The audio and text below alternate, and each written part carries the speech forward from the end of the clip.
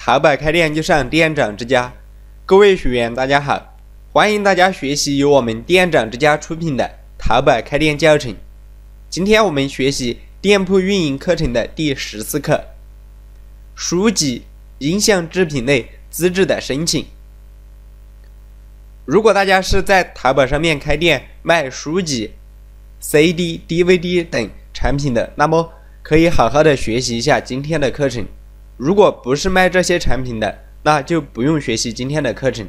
这节课程是专对专门针对出版物类卖家的一个课程。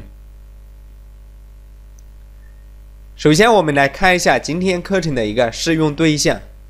今天的课程适合书籍、杂志、报纸类的卖家，以及音乐、影视、明星、音像、CD、DVD 类的卖家。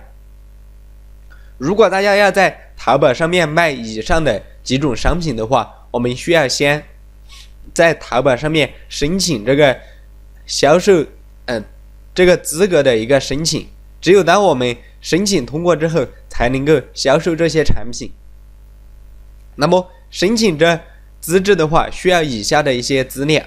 这些证件的话是在工商当地的一个工商局办理的。如果大家要卖这类型的产品，但是没有这个证的话，可以先去工商局办理这个证件。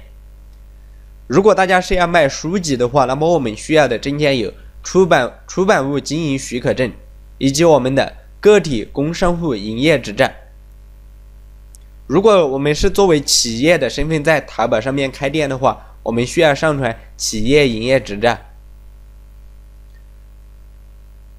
音像制品类的话，我们就需要上传音像制品。经营许可证以及我们个体工商户营业执照。同样的，企业卖家的话需要上传企业的营业执照。如果大家是在淘宝上面卖的是电子版的，比如说我们在卖电子书，或者是其他的一些通过网络传输的一些视频教程之类的，那么则不需要申请申请这个类目。发布产品的话，就发布到。教育培训类目下面，接下来的话，我就先给大家讲解一下我们如何申请，在哪里申请这个特种经营许可证。首先，我们进入到淘宝网卖家中心里面，在卖家中心左侧，我们找到店铺管理，点击后面这个向下的箭头，然后找到这里的特种经营许可证。点击进入，进来之后的话，我们就进入到了特种经营许可的一个申请的页面。今天我们主要讲的是音像制品特种经营的许可申请，以及我们图书特种经营的一个申请。这两个的话，申请流程是一样的。如果大家是卖音像制品的，那么我们就点这里进行申请；如果我们是卖图书的，那则点这里进行申请。这下面有一个准入须知，关于卖这些产品需要呃哪些条件的话，大家可以进来之后仔细的阅读一下。当我们准备好资料之后，我们点击这里的查看详情。点击之后的话，我们就进入到了报名的一个界面。这下面有具体的一些关于证件的要求。如果大家还不清楚的，进来之后可以先仔细的看一下。到这个页面之后，我们点击立即报名。点击之后的话，就进入到了报名的一个流程里面。首先的话，我们需要签署这个协议，就是卖这些产品需要遵守的一些协议。大家第一次进来之后，可以仔细的阅读一下。阅读完成之后，点击这里。我同意并签署以上协议，勾选上之后，我们点击下一步。接下来的话，我们就要填写基本的信息了。同样，首先是卖家的类型。如果我们是企业身份开店的，也就是开的企业店铺的话，那么我们在这里选择企业；如果是个人的话，我们就选择个人。然后是实体店的一些具体的经营信息，大家根据自己的实际情况进行填写。第二个就是我们。营业执照上面的信息，这些信息的话，在营业执照上面都是有的。另外就是我们影像制品许可证上面的一些信信息，填写好之后，我们再把我们准备好的营业执照照片和影像制品许可证照片在这里上传了。上传好之后，我们点击完成报名就可以。上传成功之后的话，一般会在五个工作日内审核通过。审核通过之后，大家就可以发布我们相关的一些产品了。这是影像制品的一个申请。同样的，如果是我们是卖图书的，那么我们也同样的一个申请的流程。这里的话，我就不做演示了。很多朋友不清楚为什么我们在卖这些产品之前需要先申请这个资质。这里的话，我给大家演示一下。比如说，我们现在要卖卖图书，那么我们店铺开好之后，肯定就是发布宝贝，点击发布宝贝，然后我们选择一个书籍，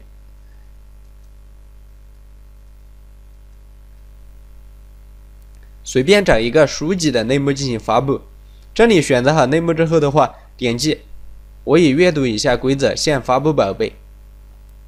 点击之后，大家可以看到，它自动的就进入到了我们这个申请的页面，就表示我们必须要先通过申请，才能够发布相应的产品。这是图书的一个呃发布宝贝的情况。接下来我们看一下音像制品，比如说我们要发布一张 CD。那么我们匹配的类目直接选择第一个音乐 CD、DVD。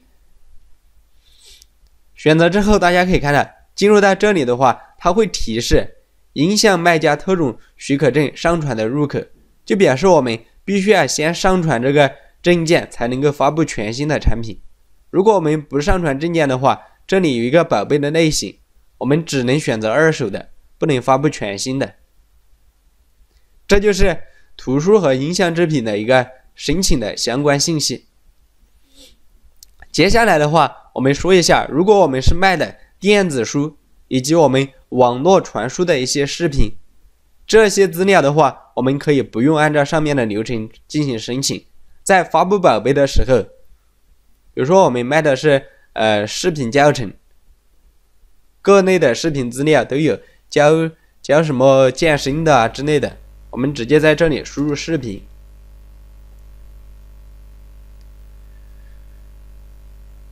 输入视频还没有，比如说我们输入健身视频，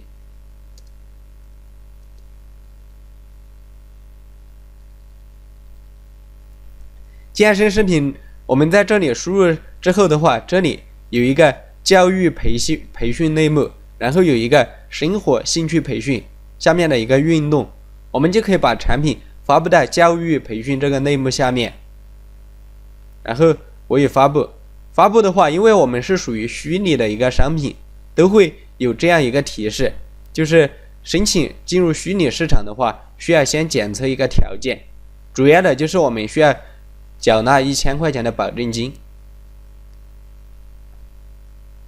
大家进入到这个页面之后，点击开始审核，符合条件之后，我们点击返回平台。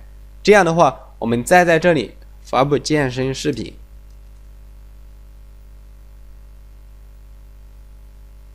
现在的话，我们就可以进行发布了。这就是我们电子类产品的一个发布的流程。在选择类目这里的话，如果大家直接输入直接输入视频的名称没有匹配类目的话，那么我们可以有一个简单的办法。在这里输入教育培训，输入之后的话，它出来就出来了教育培训的一些其他的类目，比如说我们是学历教育培训，还有职业技能培训这些，我们就根据自己的一个具体的情况进行选择。一般的话，我们发布视频都是发布到职业技能培训，然后电子商务、职业管理这个类目下面的。这就是电子类产品的一些发布流程。具体的如何发布宝贝，如果大家不清楚的，可以返回去看我们第三部分的教程，是专门教大家如何上传宝贝的。关于今天的课程的话，就为大家讲解到这里。如果大家在学习过程中有什么疑问，可以登录我们店长之家学习更多的课程。或者是加屏幕上面我的 QQ 进行咨询。同时，也请大家记得关注我们的微信公众平台，在屏幕的右下角有微信二维码，扫一扫就可以关注了。我有新的课程之后，会在微信上面进行通知。本套教程版权归属店长之家所有，盗版倒卖必究。谢谢大家的观看，祝大家学习愉快。